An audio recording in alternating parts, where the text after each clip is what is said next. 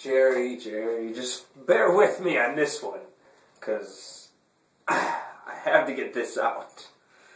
How the fuck do you think that there are still good politicians? Show me a good politician other than Ron Paul, or not good politician, but good intentioned politician. Look at the nature of the job.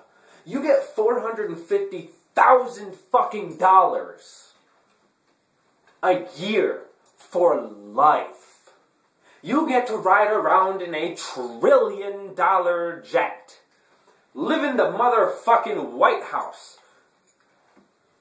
You know what kind of people get those positions?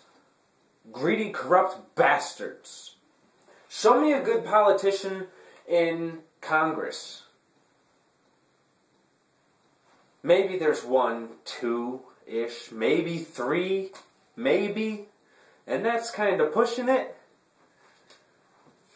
I think there might be a few good of them, uh, a few good ones in, say, the Senate. Maybe. I think I've heard some good ones. Yeah. I've definitely heard some good senators. And maybe on the local level.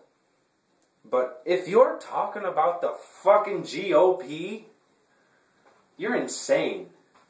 There's only one, and that is Ron Paul. All the other ones are there for the check. They're there for the payment. They're there to fly. They don't give a fuck about you.